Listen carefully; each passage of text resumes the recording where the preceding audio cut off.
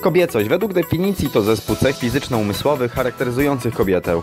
Ogólne stwierdzenie, lecz sprawia, że uświadamiamy sobie, że kobiecość to coś więcej niż tylko cechy zewnętrzne. Na pierwszy rzut oka, określając aspekty właśnie zewnętrzne, jesteśmy w stanie określić, że kobieta jest bardziej kobieca. Długie włosy, makijaż, czerwone paznokcie, uwydatniony biust, krótsza spódniczka, obcisłe ubranie czy buty na wysokim obcasie. Lecz prawdziwy urok kobiecości kryje się gdzieś głębiej, w sposobie poruszania się, patrzenia i zachowania. Jak najogólniej zdefiniować cechy kobiecości?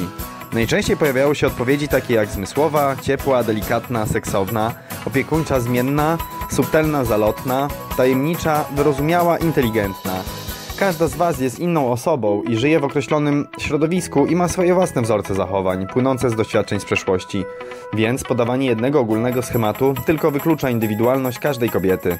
Uważam, że warto sprawdzić, po czym poznać każdy z aspektów kobiecości oraz zdać sobie sprawę, jak poszczególne cechy będą się realizować w różnych miejscach. W pracy, w domu, z przyjaciółmi i ukochanym.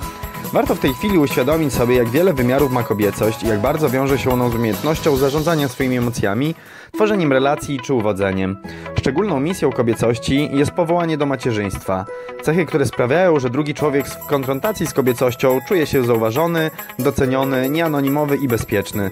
Stwórz własną definicję kobiecości, którą możesz dzielić się z innymi, nie zapominając na koniec, że najważniejszym sekretem kobiecości jest radość życia, umiejętność cieszenia się chwilą, która trwa i tym, co jest piękne w tobie i w twoim życiu, wyrażona iskierkami w oczach, które błyszczą, kiedy się uśmiechasz.